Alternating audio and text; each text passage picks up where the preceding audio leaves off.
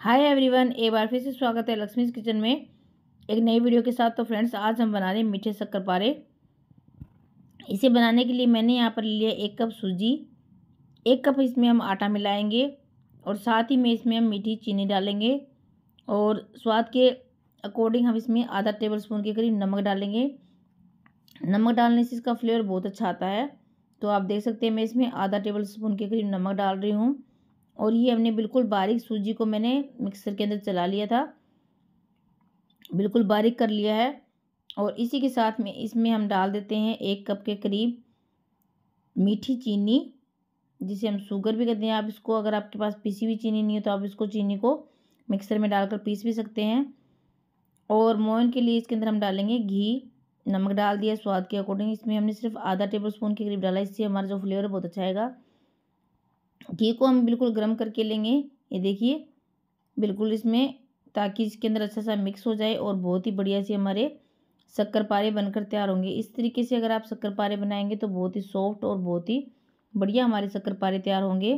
तो फ्रेंड्स जो मेरे चैनल में नए हैं, वो चैनल को सब्सक्राइब कर लीजिए। इसके आगे जो बेल आइकन बटन है, उसे प्रेस कर दीजिए, ताकि आगे आने वाली हर वीडियो की नोटिफिकेशन आपको सबसे पहले मिले। तो आप देख सकते हैं बिल्कुल हल्के हल्के हाथों से हम इसे सारी चीज़ों को अच्छा सा मिक्स करेंगे और इसका एक बढ़िया सा, दरदरा सा इसका एक हम बना लेंगे ताकि इसको हम अच्छा सा मिक्स करने बाद पूरा मोइन हर तरीके से चारों तरफ़ में आटे के अंदर मिक्स हो जाए। और उसके बाद में हम थोड़ा सा इसमें गुनगुना पानी डालेंगे। तो पहले हम इसको इसी तरीके से कर लेते हैं। देखिए इस तरीके से हाथों की सहायता से सारी चीज़ों को अच्छा सा मिक्स कर लेंगे। सूजी और आटा और चीनी, घी और नमक सब चीज़ों को अच्छा सा मिक्स कर लेंगे। तो अभी आप देख सकते हैं कितना बढ़िया सा एक हमारा ये बन चुका है और इसको हम इस तरीके से करें तो एकदम मुट्ठा सा बन रहा है और इसमें पूरी तरीके से पर्याप्त मात्रा में हमारा मोइन हो चुका है और बहुत ही बढ़िया हमारी ये शक्करपारे बनकर तैयार होंगी। तो इसे देखिए, इस तरीके से ये पूरा एकदम बंद रहा है हाथ के अंदर तो इसका मतलब ये हमारा बढ़िया तरीके से लग चुका है। अब इसमें थोड़ा थोड़ा पानी करके इसका एक हमें बढ़िया सा डो बना लेंगे। जिस तरीके से हम आटा लगाते हैं, उस तरीके से इसको एक अच्छा सा डो की तरह बना के हम इसे तैयार कर लेंगे। तो फ्रेंड्स, वीडियो को स्कीप मत कीजिएगा, पूरा देखिएगा, तभी आपको पता चलेगा कि हमने ये शक्करपारे कैसे बनाए। बहुत ही टेस्टी बनते हैं फ्रेंड्स ये शक्करपारे और इन्हें हमें काफ़ी दिनों तक, महीनों भर हम इनको स्टोर भी कर सकते हैं।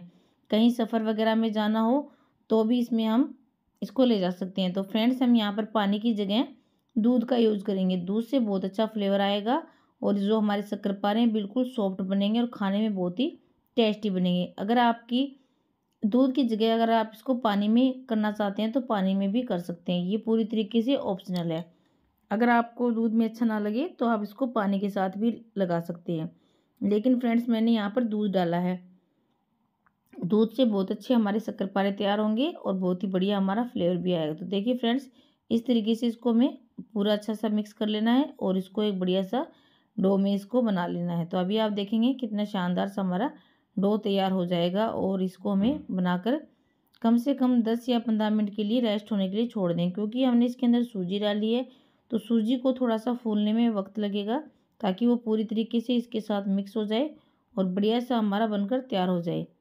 तो ये देखिए फ्रेंड्स, इस तरीके से हम इसको डो लगाकर छोड़ देंगे। आप देख सकते हैं कितना चिकना चिकना हमारा डो तैयार हो चुका है। इसको हमें ढक्कन लगा के छोड़ देना है ताकि ये बिल्कुल सॉफ्ट रहे और ख़राब ना हो। तो ये देखिए ढक्कन लगा के हमने छोड़ दिया था। दस से पंद्रह मिनट हो चुके हैं। अब इसको हमें चेक कर लेते हैं। देख सक, देख लीजिए किस तरीके का हमारा डो है। थोड़ा सा आप देखेंगे, पहले की जगह ये सॉफ्ट हो, थोड़ा हार्ड हो चुका है। बस हमें बिल्कुल ऐसा ही चाहिए। ये देखिए कितना बढ़िया सा हमारा डो बनकर तैयार हो चुका है। इसको थोड़ा सा हाथों की सहायता से दोबारा से हम गूँथ लेंगे। और ये देखिए, इस तरीके से हम इसको नीचे बेल लेते हैं। देखिए मोटा मोटा ही बनाना है, हमें शक्कर पारे तो इसको हम इस तरीके से बेलेंगे अगर आपके पास कोई पिज़्ज़ा कटर वगैरह है तो आप उससे डिजाइनदार इसमें बना सकते हैं। अगर वो नहीं है तो आप इसको बिल्कुल सिंपल तरीके से, इस तरीके से काट लेते हैं। तो देखिए फ्रेंड्स, इसको हम इसी पर, यहीं पर चक्कू लेंगे और चक्कू की सहायता से इसको हम कटिंग कर लेंगे।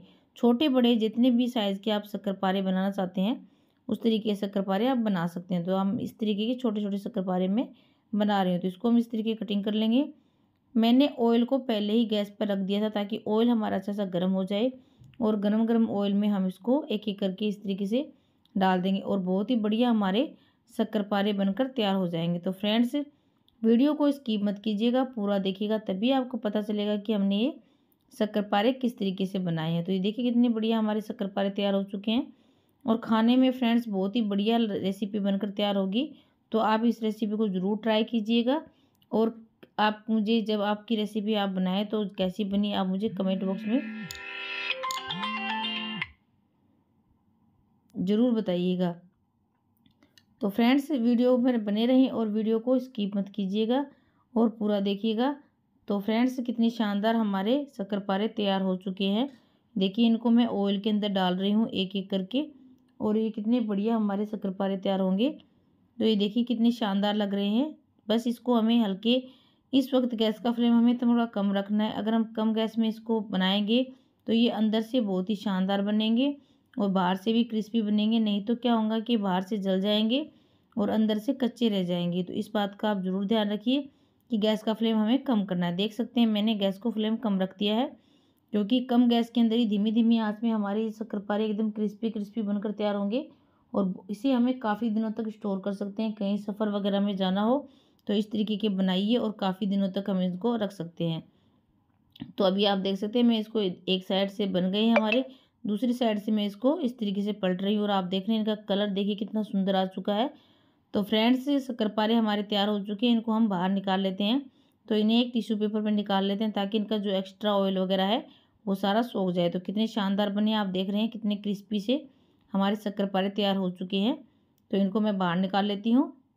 और इसी तरीके से हम सारे शक्करपारे तैयार कर लेंगे। तो फ्रेंड्स, वीडियो में बने रहें।